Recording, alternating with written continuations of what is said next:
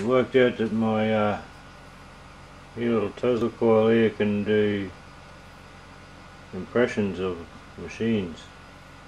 One impression it can do is a Gatling gun.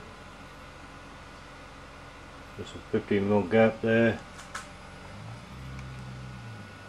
Maybe one or two mil gap there and a very small gap on that spark gap there.